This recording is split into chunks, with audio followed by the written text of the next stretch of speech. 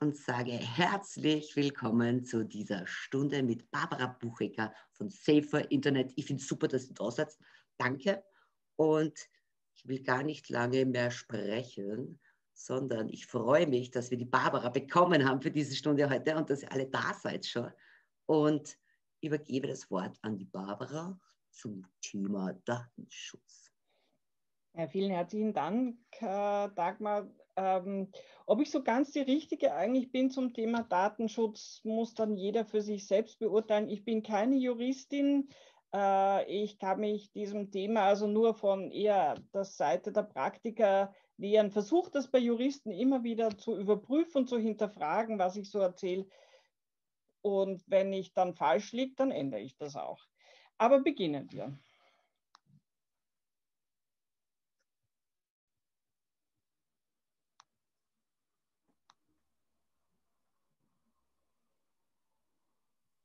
Ich hoffe, jetzt sind die Folien, das, das Titelblatt der Folie richtig zu sehen. Ja, wir sehen unten aber dein, dein, die Leiste auch noch, aber das Aha, du, okay. ist wurscht. Hm, ja. Egal, es ist schön. Ich glaube, jetzt, jetzt, ist, sie weg. weg. Ja, jetzt ist sie weg. Ja, Datenschutz ist ähm, eigentlich normalerweise ein Thema, wo nicht so viele Menschen uns die Bude einrennen, weil es so ein bisschen ein unangenehmes Thema erscheint. Es ist sperrig, es ist anstrengend, es ist vielleicht ähm, mühsam, man muss sich uranstrengen und was hat man eigentlich davon? Äh, ist so die Frage, die da irgendwie oft gestellt wird und ich möchte da einen Schritt zurück machen, ähm, ein bisschen und äh, versuchen es äh, auch eine Spur, eine Erklärung zu geben, warum beschäftigen wir uns eigentlich heute mit diesem Thema Datenschutz so intensiv? Warum ist uns das heute ein Anliegen und was ist auch der Grund, warum es notwendig in der Arbeit äh, mit den Jugendlichen ist? Und ich starte hier mit der Sammlung von Daten zu Personen, die es ja schon ganz, ganz lang gegeben hat. Hier ähm, ein Meldezettel, ein Meldezettel aus Wien einer doch nicht unbekannten Person, nämlich der Maria Lasnik, die sich in Wien 1947 gemeldet hat und den findet man ähm, in äh, dem Geschichtswiki der Stadt Wien ist das sozusagen ausgestellt, äh, so wie im Museum. Ähm, und warum die Meldezettel ähm, 1947 war sozusagen die Zeit nach der Nazi-Zeit, aber in der Nazi-Zeit waren genau solche Sachen wie Meldezetteln ein ganz ein wichtiges Instrument, um Menschen bestimmter Gruppen herauszufischen. Mir ist es, äh, als ich äh, vor vielen, vielen Jahren einmal äh, am Meldeamt war, um herauszufinden, wer in einer Wohnung, in der ich gewohnt habe, ähm, davor gewohnt hat, und ich in diesen historischen Teil des äh, Meldeamtes kommen konnte, konnte ich die sehen. Ich habe nur im Internet kein äh, Bild davon gesehen. Es gab nämlich diese Staballen, die Staballen, die äh, bei den Karteikarten in der Nazizeit äh, an bestimmten Stellen es ermöglicht haben, Juden herauszufischen, äh, weil die waren am Meldezettel vermerkt. Ähm, das äh, konnte ich also auch wirklich sehen. Und das war der Grund, warum auch äh, in Österreich, ähm, nicht nur in Österreich, aber bei uns sehr schnell zum Beispiel die Juden äh, gefunden werden konnten und mit einem Stockerlgriff äh, sozusagen herausgefischt waren.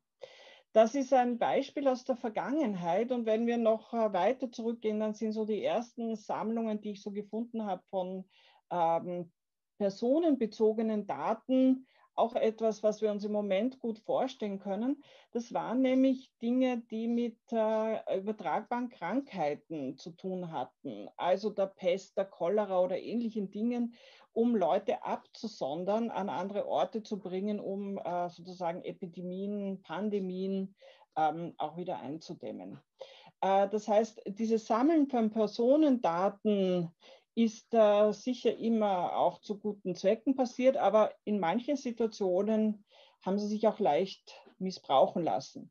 Und äh, das ist vielleicht auch ein bisschen der Hintergrund, warum wir uns mit so Sachen mit Datenschutz beschäftigen müssen und warum es äh, sozusagen sowohl auf Seite von uns Personen, die wir Daten verarbeiten, nutzen, brauchen, ähm, aber auch auf Seite der Personen, von denen Daten gesammelt werden, es eben wichtig ist, damit wir uns damit beschäftigen. Ähm, eine Schülerin, die ein Referat über Datenschutz gemacht hat und da zu mir gekommen ist, hat das dann so definiert, Datenschutz ist die Gewissheit, selbst entscheiden zu können, wem man welche persönlichen Daten geben möchte und zu welcher Zeit und eigentlich auch wie lange und wann man auch davon wieder zurücktritt. Das heißt, sie hat das so interpretiert, dass Datenschutz eigentlich ein Recht ist, das ich als Person habe, das ich mir auch nehmen muss in manchen Situationen und wo ich auch mir darüber Gedanken machen muss, ähm, was möchte ich, wem gebe ich was und wem gebe ich was nicht. Ähm, ich meine, ich bin jetzt bei Safe Internet schon recht lange und auch äh, war schon tätig in der Zeit, als Facebook aufgekommen ist.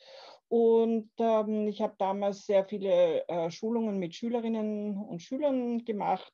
Und das war eigentlich ähm, in der Diskussion immer recht äh, spannend und interessant, wenn also dieses Thema auf Datenschutz bei Facebook gekommen ist, dann äh, und äh, wir so erklärt haben, äh, Facebook nutzt diese Daten äh, auch, um damit Geld zu machen, um euch die entsprechende Werbung anzuzeigen, um sozusagen euch zu monetarisieren. Äh, ähm, dann haben die uns damals immer gesagt, ja gut so, weil wir wollen ja, dass das Produkt Facebook gut funktioniert. Ähm, daher bin ich durchaus bereit, da meine Daten herzugeben. Ich bin durchaus bereit, sozusagen äh, mich auf diesen Deal einzulassen. Äh, das Interessante ist, ich habe den Eindruck, dass heute da vielleicht weniger drüber nachgedacht wird, über genau diesen Zusammenhang. Ähm, wem gebe ich meine Daten? Was macht er damit? Und welche sozusagen Folgen hat das dann auch? Ja? Wie in dem Fall, dass äh, eine Software besser funktioniert und ähnliches. Das war in Zeiten, bevor die Europäische Datenschutzgrundverordnung gekommen ist, die für uns heute eigentlich so die Basis und die Grundlage vieler unserer Arbeit ist und die uns urnervt. Die uns urnervt in unserer Arbeit, die uns urnervt, wenn wir das Internet benutzen, weil wir dauernd auf diese depperten Cookies-Zeugs klicken müssen und ähnliche Dinge. Aber vielleicht einen Schritt zurück. Warum gibt es die? Die gibt es letztendlich, um genau dieser Definition dieser Schülerin von vorher zu folgen, damit wir nutzende Personen, damit wir Personen, deren Daten auch verarbeitet werden, eigentlich dieses Recht haben, darüber zu bestimmen, was mit unseren Daten passiert. In der Praxis ist das nervig und anstrengend, auch für sozusagen, wenn wir das Internet nutzen und da und diese depperten Cookie-Seiten akzeptieren müssen. Aber äh, sozusagen, es gibt uns ähm, eine Wahlmöglichkeit. Wenn wir äh, zum Beispiel nach Amerika schauen, ist das nicht so. Da gibt es diese Wahlmöglichkeit nicht. Und da ist es auch durchaus so, dass äh, äh, für Personen noch viel mehr so, ja, das Achselzucken, was soll ich schon tun, auch in Wirklichkeit Berechtigkeit hat, also Berechtigung hat. Ähm, ganz kurz, äh, diese, ganz kurz die langweiligen Dinge am Anfang. Ähm, das, äh, das sozusagen Datenschutzgrundverordnung, was sind da eigentlich so die, die Grundlagen? Und das klingt ja alles eigentlich sehr nett. Also die Rechtmäßigkeit, Fairness, transparent. Ich muss eigentlich wissen, was äh, passiert. Die Datenminimierung, das ist das, was uns in der Praxis dann als äh, in unserer Arbeit urnervt, weil wir eigentlich dafür sorgen müssen, Zeug immer wieder zu löschen, immer wieder zu schauen, ist das wirklich noch notwendig ähm, zu speichern. Also das sind so die Sachen, die eher öd sind, aber gut. Speicherbegrenzung, dass wir eben danach trachten, dass weniger äh, sozusagen auch gespeichert wird, weniger lang. Wir müssen Rechenschaftspflicht darüber ablegen. Es gibt eine Zweckbindung, das heißt, wir müssen ganz genau sagen, wozu wir den Daten speichern. äh, es muss richtig sein und die Integrität, ich kann dieses Wort leider nie aussprechen, und Vertraulichkeit so als eine Basis. Das heißt, wenn wir das so anschauen und diese Begriffe, die da stehen, dann sind die eigentlich von einem sehr ähm, menschenfreundlichen Weltbild äh, auch ähm, bestimmt. Und äh, sozusagen, man hat auch das Gefühl, hier geht es wirklich darum, Personen zu schützen. Ähm, in der Praxis erleben wir das eben nicht so, das habe ich schon gesagt, aber es gibt dann schon durchaus Dinge, äh, wo man das auch so sehen kann. Also ich hatte zum Beispiel den Fall, ich wollte den Arzt wechseln, ähm, einen Arzt, den ich sehr lange schon ähm, hatte und der ur viele Befunde und äh, Krankengeschichten von mir hat. Und ich wollte zu einem anderen Arzt des gleichen Faches wechseln und habe von diesem Arzt verlangt, mir meine Krankengeschichte auszuhändigen. Und der hat einmal gesagt, nein, aus Datenschutzgründen kann er mir meine Krankengeschichte nicht aushändigen. Ja, leider hatte sich der Arzt geirrt, weil genau das ist jetzt ähm, äh, der, die, die Sache. Der Arzt muss mir jetzt meine äh, Daten aushändigen. Und äh, genau das Datenschutzrecht verpflichtet alle, die Daten sammeln. Im Fall, wenn jemand daherkommt und sagt, was hast du über mich, muss diese Institution, diese Organisation, diese Person ähm, das auch herausrücken. Das kann uns jetzt als Organisationen nerven, weil das muss in einem relativ ähm, raschen Zeitraum, ich habe vergessen, wie schnell das gehen muss, ähm, aber in dem Fall war das sehr praktisch. Der Arzt hat es mir dann äh, zukommen lassen, ausgedruckt in äh, einem Kuvert, weil per E-Mail, das wäre ja unsicher, hat er auch recht gehabt. E-Mail ist nicht die sicherste Form, ähm, personenbezogene Daten im Internet zu übertragen. Da ist der Brief sicher die gescheitere Lösung gewesen. Es geht also um ähm, personenbezogene Daten und bitte entschuldigt diese wirklich äh, entsetzliche Folie. Ich wollte sie nur drinnen lassen, weil da einfach äh, so diese wichtigen Begriffe auch ähm, alle auf einen Blick zu sehen sind. Es geht also bei personenbezogenen Daten immer um alle Daten, die auf eine Person einen Rückschluss zulassen, also mit der ich eine Person identifizieren kann. Das können jetzt so Dinge sein wie Name, Adresse, Telefonnummer, ähm, mein Nickname in äh, den sozialen Netzwerken. Äh, aber es kann auch äh, sein, man erkennt mein, mich von hinten, weil ich so eine ganz spezielle Körperhaltung habe, weil ich so ganz speziell stehe, wie nur ich stehe dann ist auch selbst ein Bild von mir von hinten, wo ich ganz eindeutig identifizierbar bin, ein solches personenbezogenes Datum. Und das macht uns das Leben natürlich, wenn es um ähm, Kinder und Jugendliche geht, noch besonders schwer, weil das weit darüber hinausgeht, als was wir in der Vergangenheit gesagt haben, Name, Adresse, Geburtsdatum, all diese Sachen, äh, sondern es sind einfach auch andere Merkmale. Ein Foto, wo ganz klar ähm, ist, dass das äh, auch mittels Gesichterkennung ähm, nur ich sein kann und ähnliche Dinge. Ähm, was kann ich also jetzt sozusagen tun? Und das ist äh, auch das, was wir immer so hören in den Medien, ja, da werden Daten übermittelt, aber das sind ja nur anonyme Daten oder anonymisierte Daten. Manchmal äh, kommt es auch mit diesen pseudonymisierten Daten, also wenn sozusagen die Person nicht direkt zugeordnet werden kann, aber ähm, äh, es schon ähm, sozusagen auf eine konkrete Person sich bezieht, äh, äh die, die wird sozusagen in der Öffentlichkeit, zumindest in meiner Wahrnehmung nach, äh, weniger häufig genannt. Aber die anonymisierten Daten, die sind sehr häufig da. Ähm, ich, ich, finde, das kann man auch ein bisschen kritisch hinterfragen, ob die immer so anonym dann auch wirklich sind. Da ist dieses ähm, berühmte Beispiel, ähm, es gibt so einen äh, im Auto diese Kasteln, die äh, mir den Weg anzeigen, diese eine Marke, die aus so zwei kurzen Vornamen besteht, die hat vor einigen Jahren, das ist schon wirklich viele Jahre her, als das wirklich noch so Kasteln waren, die im Auto herumgehangen sind, ähm, äh, Daten verkauft. Sie hat die Daten an die Polizei verkauft, äh, anonymisiert, völlig anonymisiert. Ähm, neues Geschäftsfeld, ja, man Big Data, neues Geschäftsfeld, das ist ja, viele Firmen kommen auf die Idee, dass sie irgendwas sozusagen ähm, auch zusätzliches Einkommen noch generieren.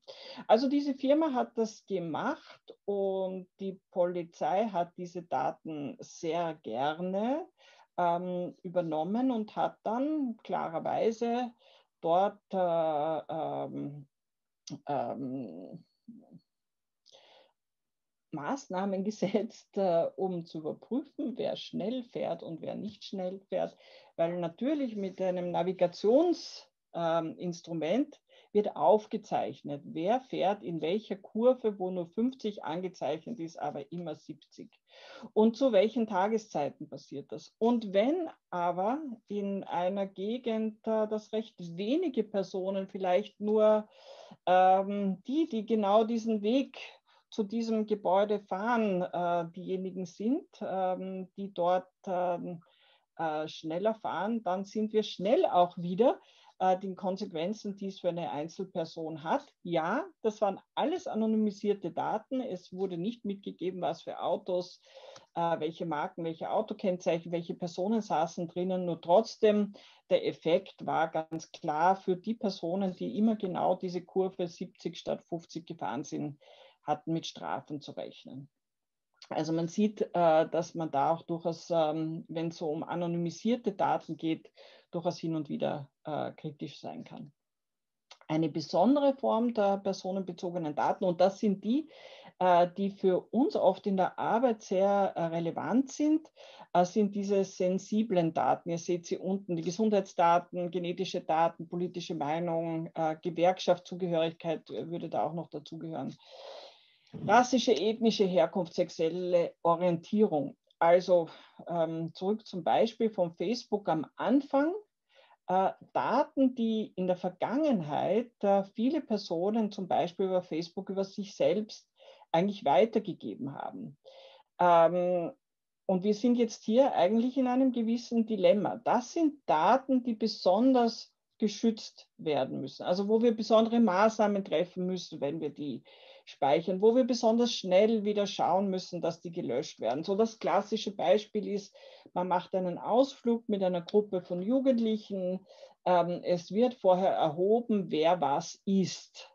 Ähm, da gibt es dann die Kategorie, wer Schweinefleisch isst und wer kein Schweinefleisch isst und wer äh, glutenfrei, was weiß ich, laktosefrei, all diese Dinge, die man da so heute erheben kann. Ähm, und hier werden jetzt zwei sensible Daten erhoben, nämlich die Gesundheitsdaten und unter Umständen auch die Religion, ähm, weil äh, das Schweinefleisch in der Regel bei uns, bei Jugendlichen, eher auf äh, äh, religiöse Herkunft oder äh, religiöses Bekenntnis äh, zurückzuführen ist und jetzt weniger auf Gesundheit, wie es vielleicht im späteren Lebensalter manchmal der Fall ist. Äh, wenn ich solche Dinge äh, speichere, weil die brauche ich und damit sind wir auch schon ähm, bei unserem nächsten Punkt. Warum darf ich den Daten überhaupt äh, verarbeiten? Also wenn ich die speichere, weil ich muss diesen Ausflug planen, ähm, da brauche ich genau äh, diese Dinge, ähm, um das überhaupt zu können. Ich muss im Restaurant, wir nehmen an, das gibt es auch irgendwann wieder, ähm, ja, sagen, wer isst was und ähnliche Dinge. Ähm, so, aber aufgrund der Tatsache, dass das besonders sensible Daten sind, muss ich mir überlegen, wie mache ich das jetzt wirklich in der Praxis? Und ähm, da gibt es äh, verschiedene Wege. Also was nicht geht, ist, dass ich eine Liste anlege, wo dann draufsteht, ähm, diese und jene Personen mit vollem Namen essen kein Schweinefleisch. Ja, also das ist etwas, äh, das nicht geht. Aber ich kann sagen, fünf Personen essen kein Schweinefleisch. Ähm, wenn ich es erhoben habe, ist es gut, wenn ich einfach nach diesem Ausflug, wenn alles abgerechnet und abgeschlossen ist, ich genau solche Informationen zu den Personen auch wieder lösche. Aber warum darf ich es in diesem Fall trotzdem ähm, erheben? Es ist mein berechtigtes Interesse. Ihr seht jetzt hier auf dieser Folie äh, die sechs Gründe, warum man nach der Datenschutzgrundverordnung ähm, ein, äh, Daten erheben kann. Äh, da ist die berühmte Einwilligung, das ist das, was uns bei den Cookies nervt. Äh, das ist das, was äh, viele Institutionen, Einrichtungen, die Schule etc.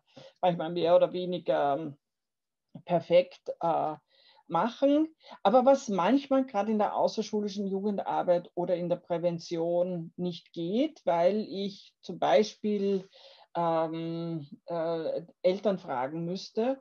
Und wenn ich aber jetzt äh, zum Beispiel äh, Kinder oder Jugendliche im Bereich des Themas sexuellen Missbrauchs äh, berate, unterstütze, supporte und ich bräuchte jetzt hier das Einverständnis der Eltern, die eventuell hier mit auch ein Grund sind, dass dieser sexuelle Missbrauch äh, passiert, weil im Endeffekt ist das ähm, wohl noch immer in den meisten Fällen ähm, im Umfeld, im familiären Umfeld der Kinder und Jugendlichen, dann wird es nicht gehen, dass ich hier eine Einwilligung ähm, der Eltern verlange, sondern dann ist es das berechtigte Interesse. Und das ist so, äh, mein, mein, mein juristischer Kollege sagt, das ist sozusagen der äh, der, die Grundlage ähm, für diese Datensammlung, die so ein bisschen ein dehnbares Gefäß ist, wo man so alles Mögliche versuchen kann hineinzubringen. Ich erinnere mich äh, an eine Diskussion mit einem großen sozialen Netzwerkanbieter vor der Einführung dieser Datenschutzgrundverordnung, die sich dann auch darauf bezogen haben, ähm, wenn sie äh, sozusagen ähm, Daten von Kindern und Jugendlichen verarbeiten, dass sie aufgrund des berechtigten Interesses dies tun, weil sonst äh, könnten sie ja nicht ähm, ihrer Tätigkeit nachgehen. Ja? Und diesem, sonst könnte man nicht der Tätigkeit nachgehen. Das gilt ja auch äh, für andere Bereiche. Und das ist auch eine wichtige Grundlage für viele äh, sozusagen der Bereich in der außerschulischen Jugendarbeit, auf die man sich äh, beziehen kann und sich auch ähm, einige Einrichtungen beziehen. Ähm, etwas, was äh, sozusagen neu wurde durch äh, die Europäische Datenschutzgrundverordnung, das hat es davor in Europa noch nicht gegeben. Das war, dass es jetzt ein Alter gibt, ab dem Jugendliche selbst entscheiden dürfen, ähm, ob ihre Daten verarbeitet werden dürfen oder nicht. Und äh, das ist bei uns in Österreich 14 Jahre. Äh, in Europa kann das aber zwischen 13 und 16 Jahren liegen. Und ähm, da muss man sich eben bei jedem Land dann anschauen, wie ist das dort ähm, und welche Regeln gelten dort. Die, die äh, Altersgrenze, die wir alle kennen, jeder vermutlich einzelne von uns hier, weil wir irgendwann damit konfrontiert wurden, ist die Altersgrenze, die in Irland gilt. Warum? Äh, Irland ist der Sitz vieler ähm, äh, Technologiekonzerne in Europa. Also das sind äh, Facebook, Google, ähm, ich glaube auch TikTok äh, zu Hause, äh, zu Hause und haben hier die europäische Niederlassung. Und, ähm, und dort ist das Alter 16. Warum wissen wir das äh, alle oder warum haben wir es auch alle irgendwann vermutlich bemerkt? Also ich unterstelle jetzt allen hier, dass äh, alle irgendwann einmal auf WhatsApp waren in den letzten Jahren. Ähm, es war so, dass da, das war, glaube ich, Christi Himmelfahrt vor, dann mal vor äh, drei Jahren, ähm, plötzlich WhatsApp die Nutzungsbestimmungen geändert hat. Also das erinnert uns vielleicht an die momentane Situation. Da ist so ein Pop-up-Fenster äh, aufgepoppt und äh, man musste in WhatsApp angeben, dass man 16 Jahre alt ist. Hat man das nicht getan, hat man also nicht gelogen unter Umständen, äh, dann war WhatsApp weg. Und äh, das war der Moment, wo Hunderttausende Kinder in Österreich plötzlich 16 wurden und jetzt also mittlerweile 19 sein müssten. Also wir haben eine sehr hohe 19-jährige Populationsrate in Österreich, wenn es nach WhatsApp geht. Das war der Moment eben, wo äh, WhatsApp die Nutzungsbestimmungen für Europa geändert hat und äh, nach, also diese Altersgrenze hier ähm, eingeführt hat.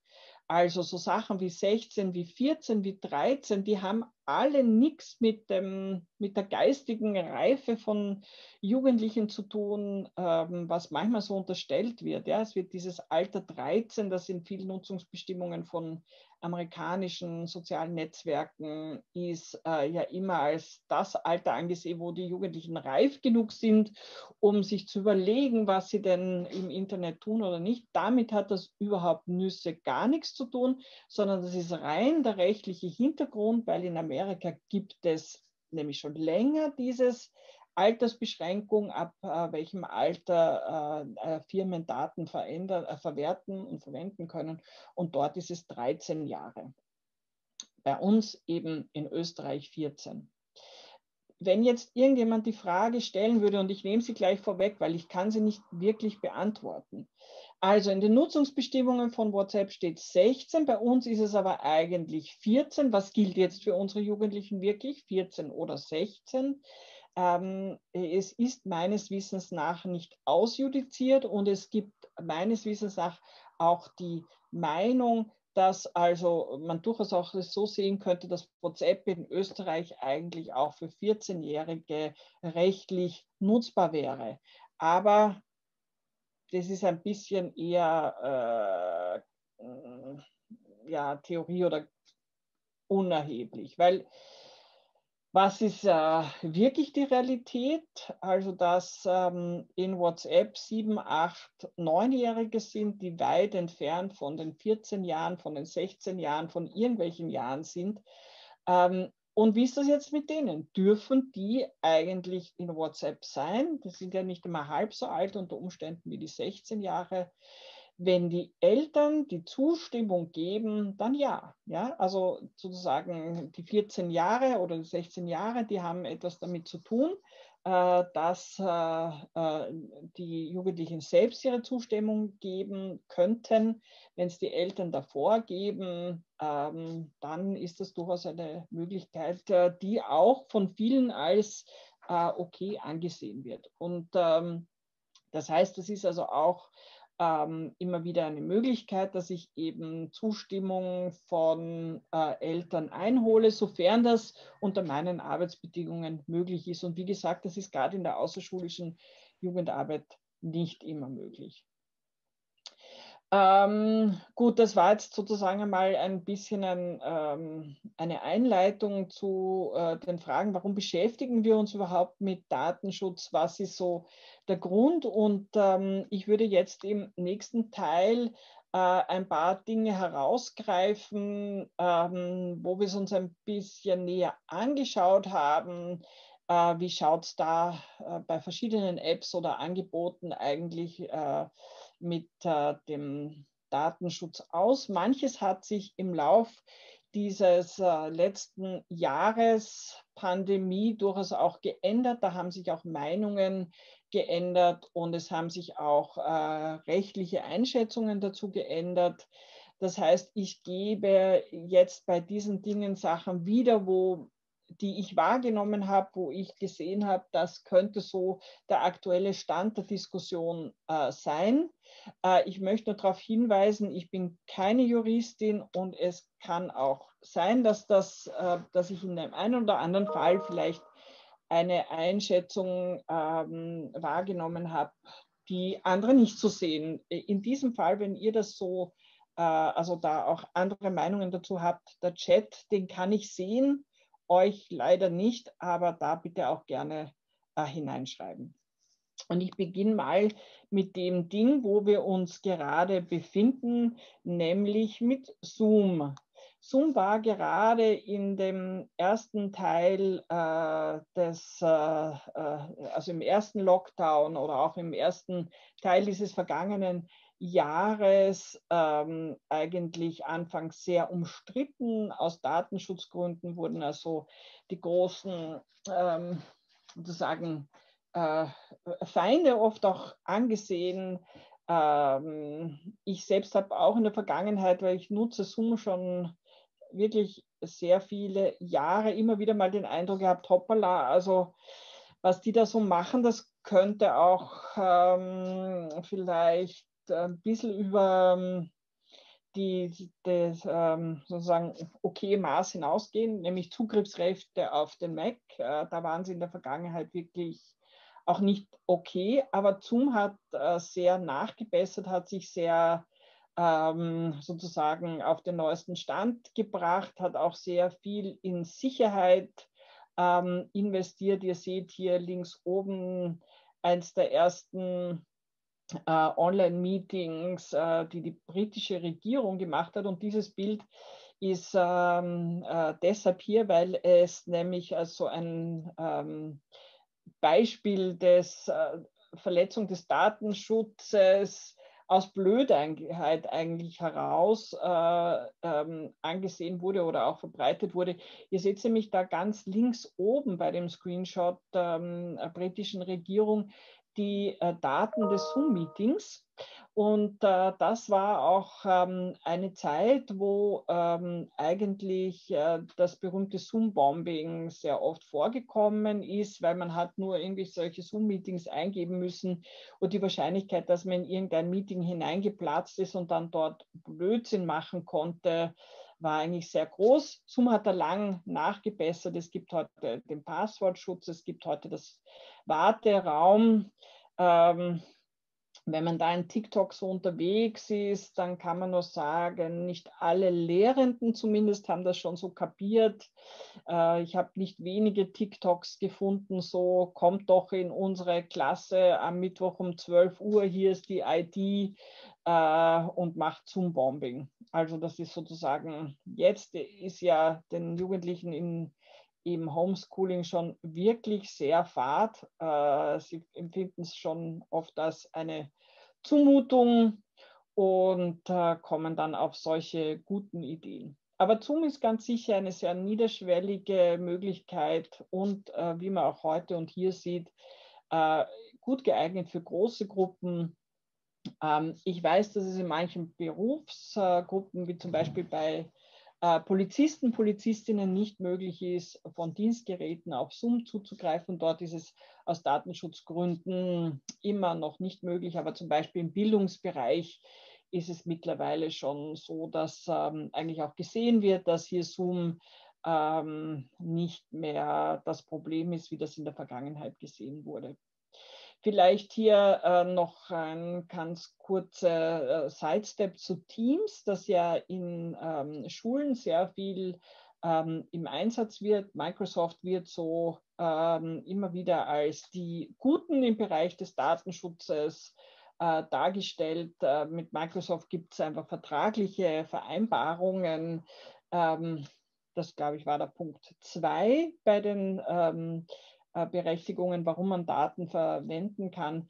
Es sehen aber durchaus in der Praxis nicht alle so, dass, äh, dass das äh, sozusagen auch aus Sicht der Schüler und Schülerinnen immer so nur positiv gesehen wird, ob in welcher Form ähm, Microsoft das sozusagen, was die mit den Daten machen, ist auch, das sagen Schüler und Schülerinnen immer wieder, auch nicht immer ganz transparent für sie. Ähm, also da gibt es auch durchaus immer wieder mal auch kritische Stimmen. Ähm, eine App, wozu man definitiv einiges an kritischen äh, Stimmen haben kann und die im ersten Lockdown ähm, sehr viel genutzt wurde, ich glaube jetzt nicht mehr so ganz, das war Hausparty. Und Hausparty, äh, da kann man also wirklich davon ausgehen, die hören mit, die speichern, das wird zu Werbezwecken genutzt, das muss einfach völlig klar sein. ähm, alles, was in Hausparty gesagt wird, äh, getan wird, ähm, wird irgendwo genutzt.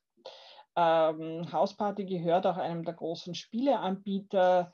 Äh, das, das Positive daran ist, dass wirklich lustige Spiele drin zu finden sind, die auch sehr gut funktionieren. Ähm, aber ganz sicher werden diese Daten auch ganz genau dazu genutzt. Und ein bisschen ähnlich wahrscheinlich, also so, wir haben das ein bisschen in unserer internen Diskussion ähm, äh, so salopp gesagt, das Clubhouse, diese App, die da seit ein paar, äh, seit einer Woche ungefähr oder zwei Wochen so die Runde macht in den Medien, in den sozusagen Gazetten eher, ähm, ist wahrscheinlich recht ähnlich zu bewerten wie Hausparty. Auch dort, äh, mein Kollege, der Matthias, äh, sagt das immer eher so ein, ein Datenschutz-Super-GAU. Äh, auch äh, bei Haus also bei Clubhouse kann man davon ausgehen, dass die Dinge aufgezeichnet, ausgewertet, werden, Zugriff aufs Telefonbuch, ähm, was passiert sowieso.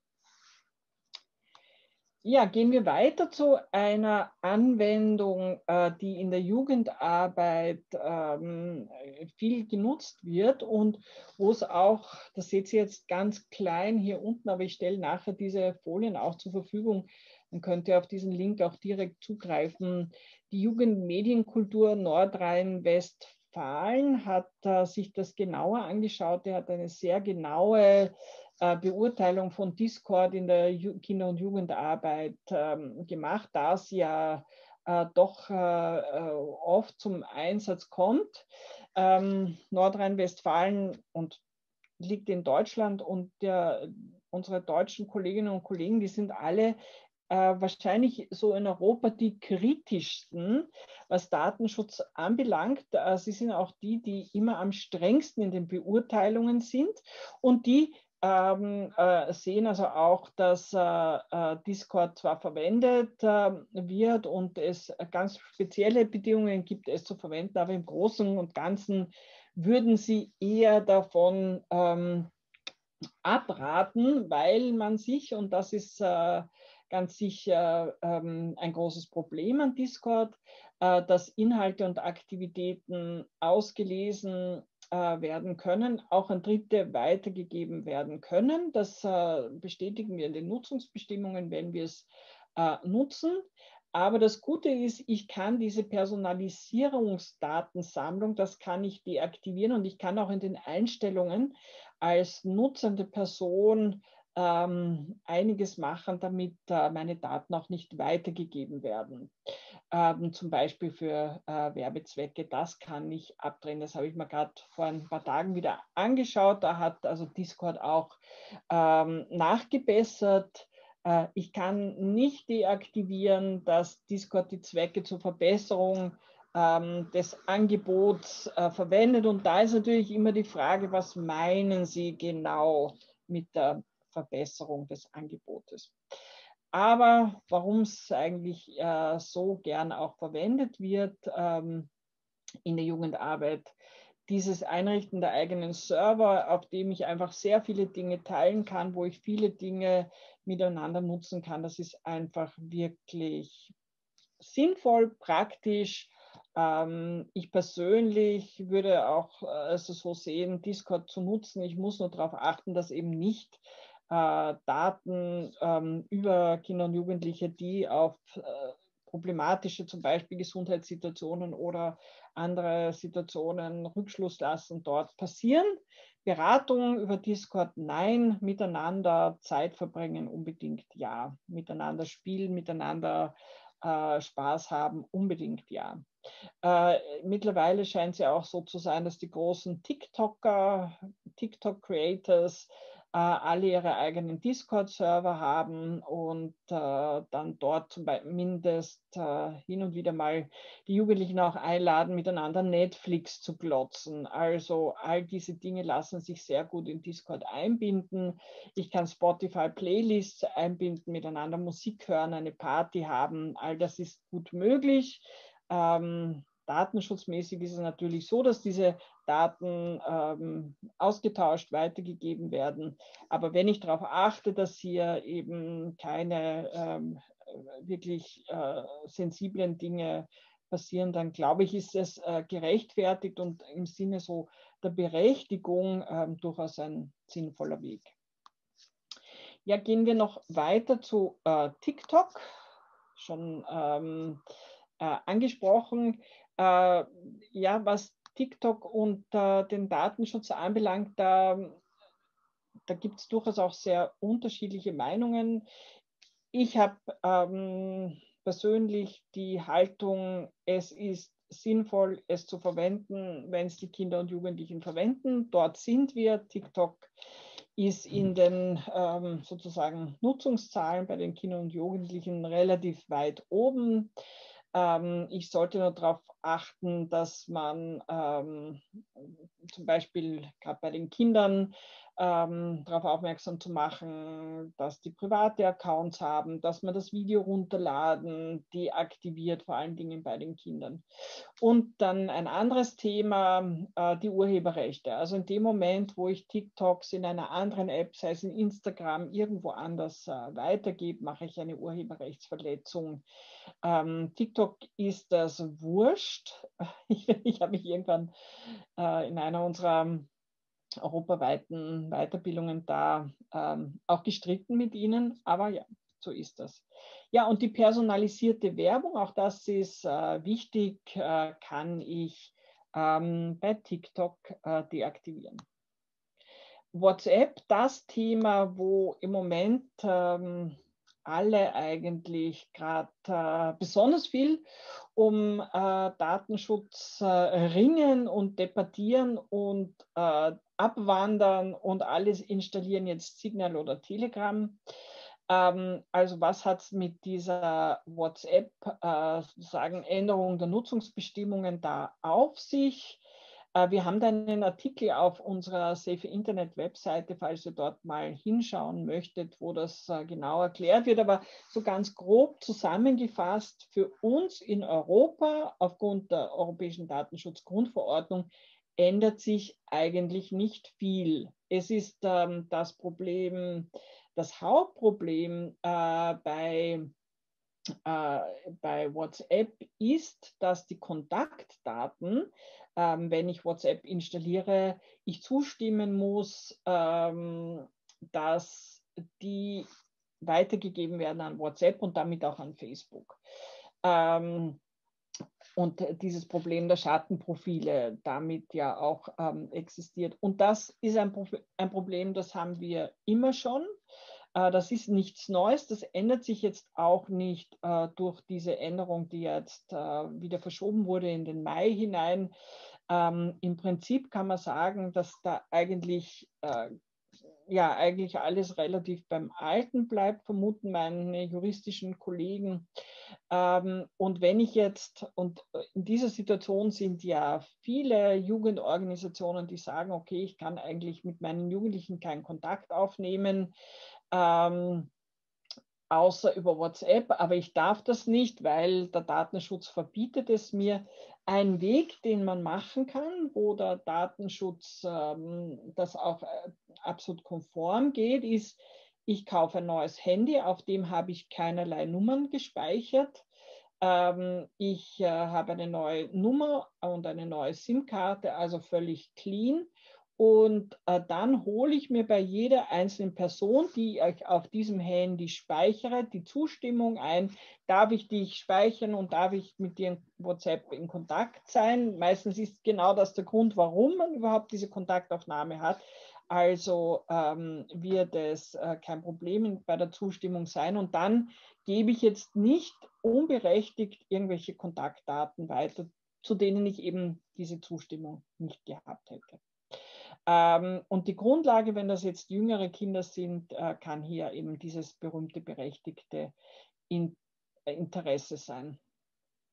Ähm, bevor ich, ich äh, Christoph, ich mache jetzt noch die Zusammenfassung und dann schaue ich, ob ich zu deiner Frage eine Antwort geben kann oder vielleicht kann sie auch jemand anderer hier geben. Ähm, ganz generell in der, in der, in der Jugendarbeit, was, äh, äh, äh Entschuldigung, falsch geklickt, was, ist, was sind so sozusagen wichtige Grundsätze, ähm, also was soll nicht passieren, mit sensiblen Daten sehr vorsichtig sein. Das kann auch sein, dass ich solche Sachen bitte nicht per E-Mail an irgendwelche Stellen äh, weitergebe. Ja? E-Mail ist eigentlich ein datenschutzmäßiges Problem, obwohl alle es eigentlich verlangen, ähm, die äh, auch äh, Stellen, die genau solche sensible Daten, mit denen man zu tun hat, ich die an die weitergeben muss. An sich ist das nicht in Ordnung. Ja, was können wir aber in der konkreten Arbeit, also gerade im Online-Kommunizieren äh, tun, also zum Beispiel im Chat keine privaten Dinge austauschen, da wirklich solche äh, Umgebungen verwenden, äh, die auch äh, wirklich für Online-Beratung gemacht sind. Und wenn ich das alles nicht habe, also irgendwann hat mein Jurist gesagt, dann ist noch alleweil gescheiter, du verwendest WhatsApp, weil in WhatsApp sind die Sachen zumindest Ende zu Ende verschlüsselt ähm, und können auch nicht ausgelesen werden. Und vermutlich stimmt das auch. Signal wäre auch eine Variante, aber Jugendliche auf Signal zu kriegen, vielleicht ist das im Moment möglich, wo ähm, zu viele Erwachsene auf Signal wechseln. Äh, bei den Jugendlichen bin ich mir nicht sicher, ob sie das so irrsinnig gern tun. Ähm, äh, ich kann schauen, dass ich minimiere, dass ich Kontaktdaten von Jugendlichen an irgendwelche Firmen weitergebe.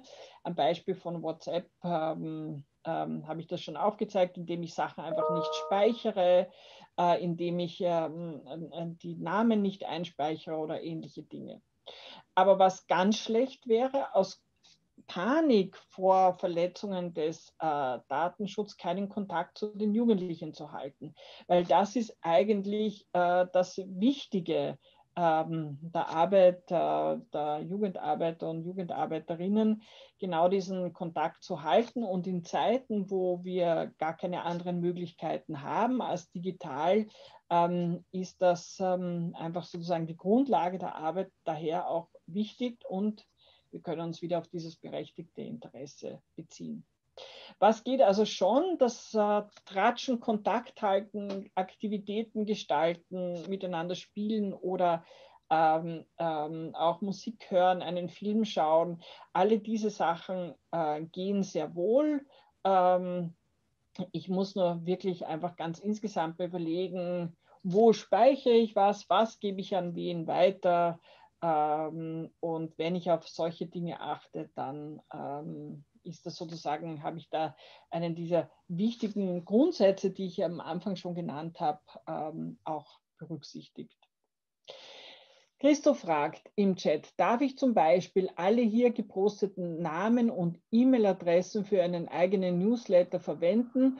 Wurden ja an alle gepostet. Keine Angst, das habe ich nicht vor. Natürlich, Christoph, äh, ich nehme mal an, du provozierst uns ein bisschen. Natürlich darfst du das äh, nicht. Du müsstest jeden einzelnen der hier geposteten E-Mail-Adressen fragen, darf ich deine äh, E-Mail-Adresse verwenden für meine Newsletter, könntest du jetzt hier machen. Weil was wir jetzt implizit äh, gemacht haben, hat die Dagmar am Anfang gesagt, äh, das hier, äh, hier hineinschreiben, genau mit dem Zweck, ähm, es wird eine Teilnahmebestätigung zugesendet. Ähm, wenn äh, sie, das, sie oder Kollegin, Kollegin das gemacht hat, wird wohl diese Liste auch ähm, wieder gelöscht werden. Und äh, es ist also nur genau der Zweck äh, der Teilnahmebestätigung hier und nicht, dass es irgendjemand für irgendetwas verwendet.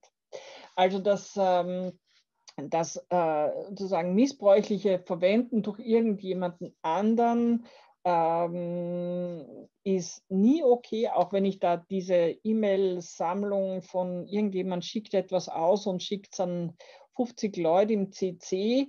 Auch so etwas ist eigentlich nicht okay, ähm, hier die Daten weiterzugeben. In der Praxis wird nur nicht viel passieren, zum Glück. Ja. Äh, bei E-Mails muss ich sowieso immer aufpassen, wenn ich an zu viele Personen, äh, ich glaube, die Grenze ist hier 50, ähm, auf einmal eine E-Mail schicke, dann spamme ich und da mache ich, äh, könnte ich auch noch Probleme mit einem anderen Recht, nämlich hier dem E-Commerce-Recht bekommen. Ähm, ist es sozusagen ein bisschen ein anderes Thema, aber E-Mail ist äh, gerade was so Massensendungen anbelangt, äh, durchaus problematisch. Schauen wir, ob noch andere Fragen sind. Wir haben noch ein bisschen Zeit. Dagmar, dich sehe ich nicht mehr, aber ich hoffe, du bist noch da. Nein, ich bin da, alles gut. Und ja, bitte schreibt eure Fragen in den Chat rein, wenn ihr Fragen habt. Sprecht auch. Ich mache jetzt die, äh, ich beende jetzt die Bildschirmfreigabe und schauen wir, vielleicht gibt es Widersprüche, vielleicht sieht irgendjemand dieses Thema anders. Das kann wirklich bei Datenschutz sein. Ähm, ja, weil da ist nicht alles in Stein gemeißelt, leider.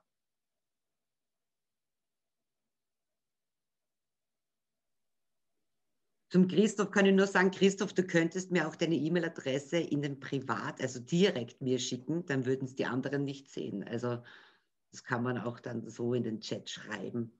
Aber mir ist das auch schon öfters eigentlich in den Sinn gekommen, dass, die, dass sie eigentlich öffentlich sind. Ja. Genau, also du könntest Dagmar das nächste Mal morgen am Tag 3 sagen, drei. bitte schreibt es mir in den Privatchat, äh, dann besteht diese Versuchung gar nicht. Genau, die Nicole schreibt, äh, wenn Jugendliche Fotos, Videos auf Instagram posten in den Stories und die Jugendseite, sprich mich, auf Instagram verlinken und ich das dann in meinen Stories reposte, ist das rechtlich bedenklich oder geben Sie durch die Verlinkung schon die Einverständnis, dass ich das Video oder Foto verwenden darf? Ich würde mal vermuten, dass das so ist. Ich glaube, es sollte äh, sozusagen, müsste sicherlich juristisch ge geprüft werden. Aber ich würde vermuten, dass sie, äh, dass man so interpretieren kann, dass sie mit ihrem äh, Verlinken oder Taggen äh, durch dich schon sagen, ähm, ja, das ist okay, dass du das machst. Es gibt manchmal so bei manchen Sachen sowas wie ein stillschweigendes Einverständnis. Also ich mache ein Foto jetzt, also ich nehme jetzt hier meine Kamera und ich mache das Foto und alle sehen es. Und alle, die ähm, sozusagen nicht sagen, halt, stopp, ich will das nicht, äh, ähm, geben so ein bisschen auch ihr stillschweigendes Einverständnis. Das ist vor allem, wenn Jugendliche sich gegenseitig fotografieren. Ja, da sagen sie ja in der Regel nicht, darf ich das? Das hat sich noch nicht so wirklich durchgebürgert. Das machen nur wir Alte hoffentlich als Vorbild. Ähm, aber wenn die sozusagen sehen, dass die andere Person fotografiert und sie wissen auch ganz genau, das wird gepostet auf Instagram, weil die alles auf Instagram postet, dann kann man das auch ein bisschen wissen, gerade als dieses stillschweigende Einverständnis werten.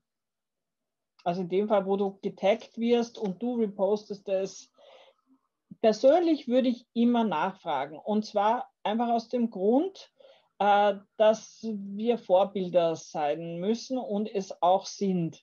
Und auch wenn es nervig ist und echt super nervig und noch vierfach nervig ist, ähm, jedes Mal fragen, darf ich das Foto von dir machen, darf ich es dort und dort hinposten, weil damit sozusagen lernt man auch, äh, dass das eigentlich der richtige Weg wäre. Ja, das ist auch bei Elternabenden zu sagen, bitte frag deinen dreijährigen Sohn, ob du jetzt das Foto machen darfst und der Oma auf WhatsApp schicken darfst, obwohl du das zehnmal am Tag tust, fragst zehnmal am Tag.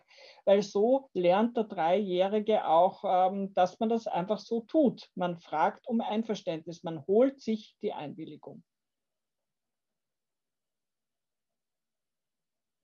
Nicole, passt das? Die Sarah ich schreibt ja noch. netterweise. ja. Sarah, was meinst du?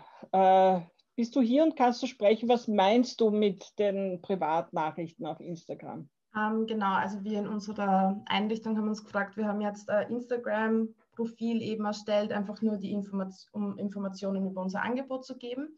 Ähm, und da ist bei uns die Frage aufgetaucht, wenn dann Jugendliche mit ihrer Geschichte über diesen Account zu uns kommen und uns da eben anschreiben, wie, es da datenschutzrechtlich ausschaut, ob wir da eher vermitteln sollen auf ein anderes Medium. Ja, unbedingt. Also die Kontaktaufnahme auf Instagram, äh, das ist in Ordnung, aber dann unbedingt äh, auf, was weiß ich, das persönliche Gespräch wird im Moment nicht gehen, aber zum Beispiel per Telefon oder äh, einen anderen Weg. Ich weiß nicht, ihr werdet jetzt keine Beratungsseite oder einen Beratungschat oder sowas haben. Das wäre alles sinnvoll, aber dann zumindest aufs Telefon umlenken.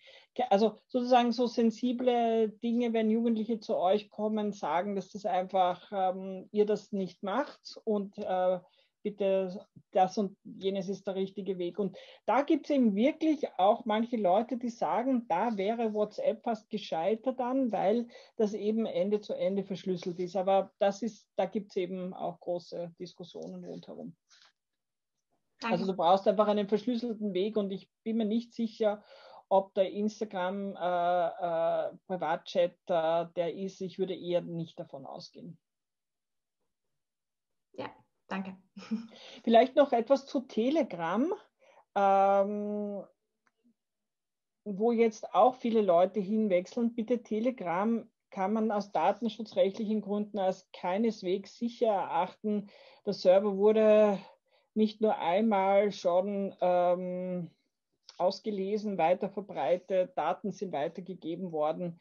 Also es ist aus äh, datenschutzrechtlichen Gründen keine gute Idee, auf Telegram zu wechseln. Auch keine gute Idee aus anderen Gründen.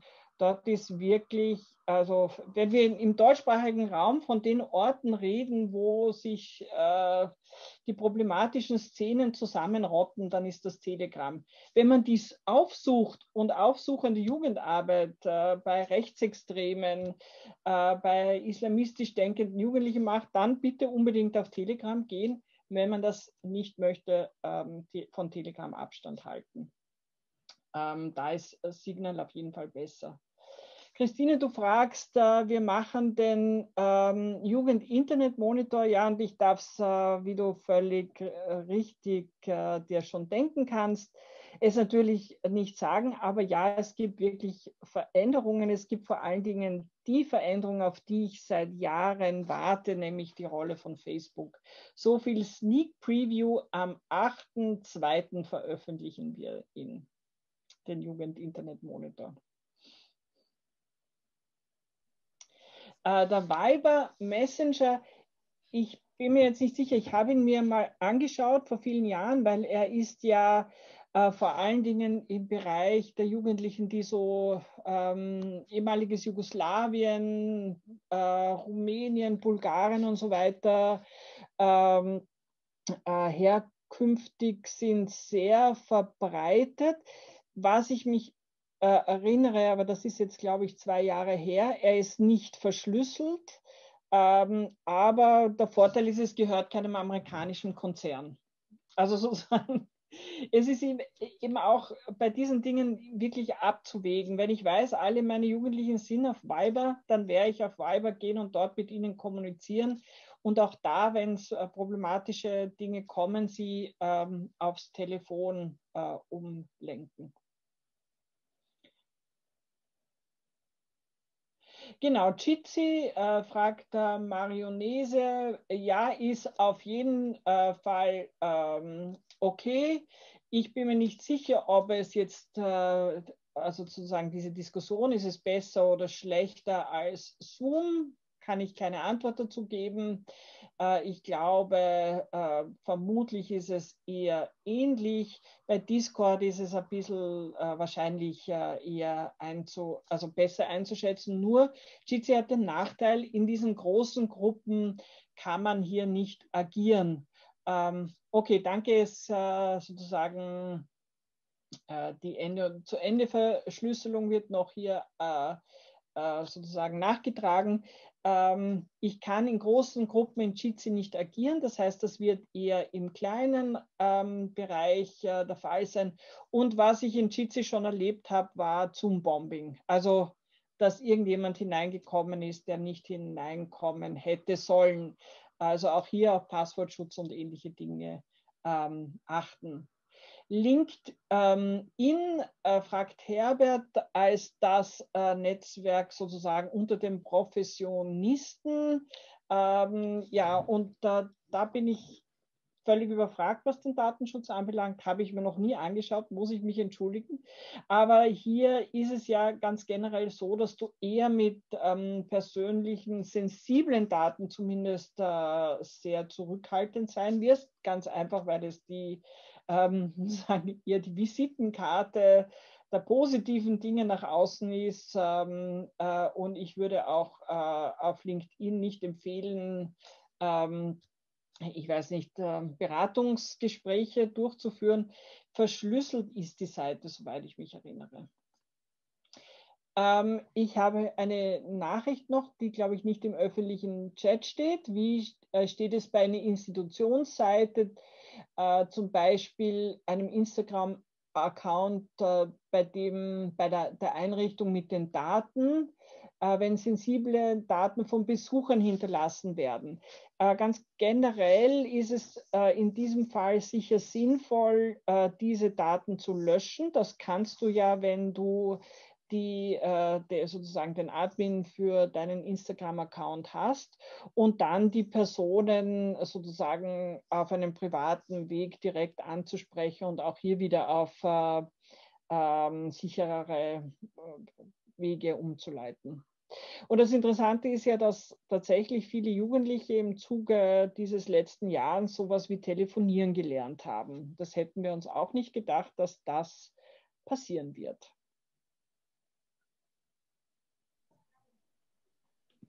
Ja, meine Lieben, es ist schon drei nach zehn. Also wenn Sie noch Fragen habt, dann schnell stellen. Ich muss dann leider auch Schluss machen, weil wir können zwar ewig noch weiter diskutieren, aber fragt noch ganz kurz eure Fragen, die ihr noch habt.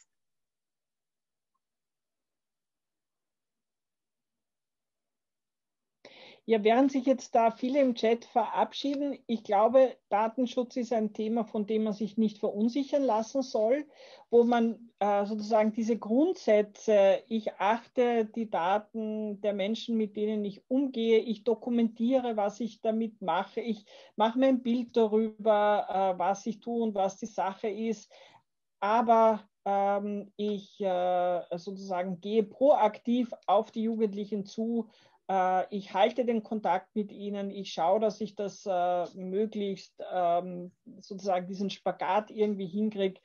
Ich glaube, das ist äh, mittlerweile möglich, äh, sollte auch für uns alle ähm, eine wichtige Sache sein. Eins darf nicht mehr passieren, dass uns der Datenschutz abhält, unserer Arbeit nachzugehen. In diesem Sinne, Tag zwei ich gehe wieder an dich zurück, Dagmar. Ja, und ich sage danke an Tag zwei. Es war eine super Stunde. Ich, find, ich, ich habe wieder was gelernt. Ja? Und ich hoffe, ihr auch. Und ja, Barbara, danke. Es war wirklich super. Es ist so schnell vergangen. Wir hätten, glaube ich, noch eine Stunde dazu jetzt damit Fragen noch weiternehmen können. Danke, dass ihr dabei wart und danke, Barbara. Und ich glaube, es hat den Teilnehmern und Teilnehmerinnen sehr gefallen. Es kommt immer Danke, super war's, Dankeschön. Wenn ihr Lust habt, morgen geht es weiter. Wenn ihr einen Motivationsschub braucht. Was ich verstehen würde, nach dem Datenschutzthema kann man Motivation Na, schon brauchen. Ich finde, es hat mich sogar motiviert, weil ich finde einmal, es ist so anstrengend, Datenschutz ist so, ah, oder zart zeitweise. Und eigentlich hat mich das jetzt schon ein bisschen motiviert, so irgendwie mach und denk nach, was du machst, aber mache. Ja. Das ist, glaube ich, das Fazit für mich einfach heute. Ja. Gut. Ich freue mich schon, Dagmar, auf dein TikTok-Video dazu.